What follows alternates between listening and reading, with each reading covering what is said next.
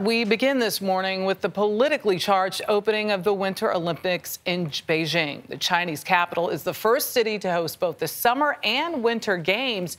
During the opening ceremonies, the cauldron was lit by a Chinese skier who was part of China's Uyghur Muslim minority. China's government has been condemned for its treatment of Uyghurs. An estimated 1 million are being held in mass internment camps. While many Western leaders are boycotting the games, Russian President Vladimir Putin met privately with China's Xi Jinping. The two emerged from the meeting by sending a message to the West Their joint statement saying that China and Russia's alliance has no limits. Jamie Yuccas is covering the Winter Games in Beijing. Jamie, good morning. Good morning. Nearly every Olympic sport saw action today, and the first medals now awarded. Norway's Therese Johaug won the women's skiathlon. The games officially were opened and dedicated here at the National Stadium, also known as the Bird's Nest, in a captivating and controversial ceremony pageantry on display, but far from a full house due to COVID restrictions.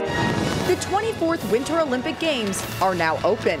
Athletes from 90 different countries and territories marched through China's national stadium on a cold and blustery night.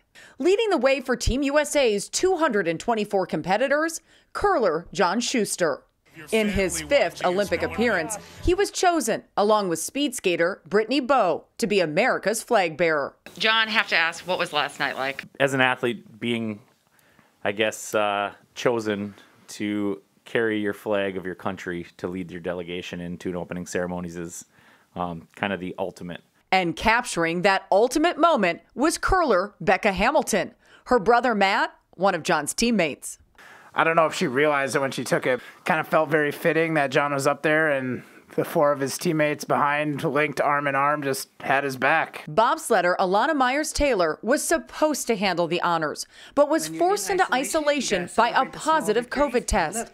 We spoke to her before the ceremony. We've been, we've been on the road since November 10th and never came back to the U.S. for fear of catching COVID. So to get it here, it was pretty devastating. The pandemic and politics have become a backdrop for these games.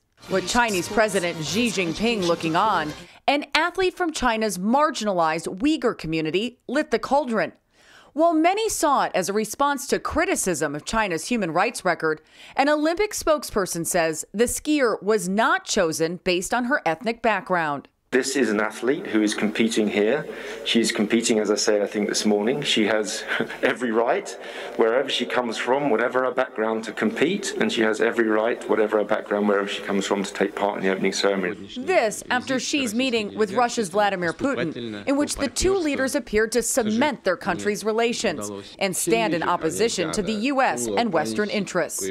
They're not allies, they're even closer. Steven Lee Myers is Beijing bureau chief for the New York Times. I think that they've telegraphed um, both leaders a desire to assert for their own countries a place on the world stage uh, that challenges the dominance of the United States uh, and the West.